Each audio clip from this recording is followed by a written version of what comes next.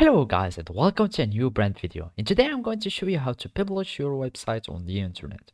So the first thing that we need to do now is to open your Adobe Dreamweaver application or software and then will need to follow the simple steps. So basically uh, to uh, publish your site or your website you will need to have your work done and then you will go to site here and you will go to manage site and go here and add a new site. And now you will need uh, to name your site which is only uh, in your working space. You name it for example give it the name that you want site uh, or publish.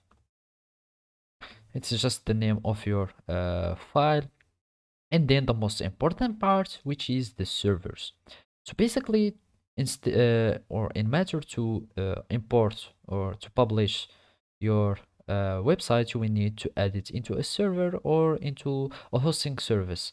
So basically you will need to have or to buy a hosting service with a domain name in the internet. You can uh, have multiple or uh, i mean you can choose from a variety services like hostinger bluehost uh, godaddy and many other uh, hosting services after that you will need to have like the FTP uh, addresses from your hosting service. So when you have, for example, your account and you buy your hosting uh, in uh, Bluehost, for example, you will need to go to the FTP uh, panel or page or options in your hosting service or website and then we search for the FTP address so you can add it here so we can find or so uh, that Dreamweaver find the address and it can publish all the contents of your project to that address that you are going to put here.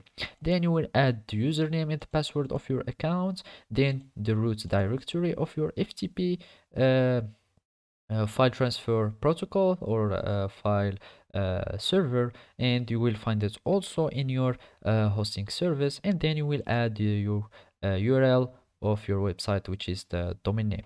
After that you are going to click on save so i'm just going to have a look like that just and add any uh, thing just to show you. And for example let's just have uh, my desktop for example just click save. And now that you have uh, your server you will click save and then done.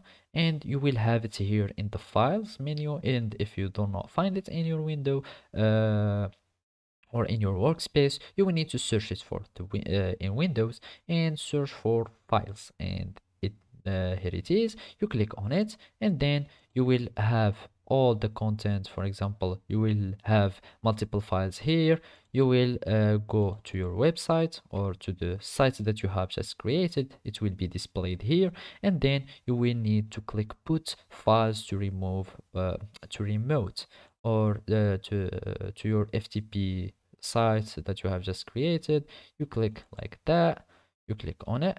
And it will uh, give you a message or a confirmation message like that uh, and it will tell you are you sure you wish to put the entire site? You click ok and if you have images it might uh, tell you or uh, demand if you want uh, to add the images or to include your files or objects with it and you will click yes ok and you will have your website that has been published and if you go to your uh, browser and use or uh, add your url and put it in the click uh, OK or enter, you will find that your website has been published successfully.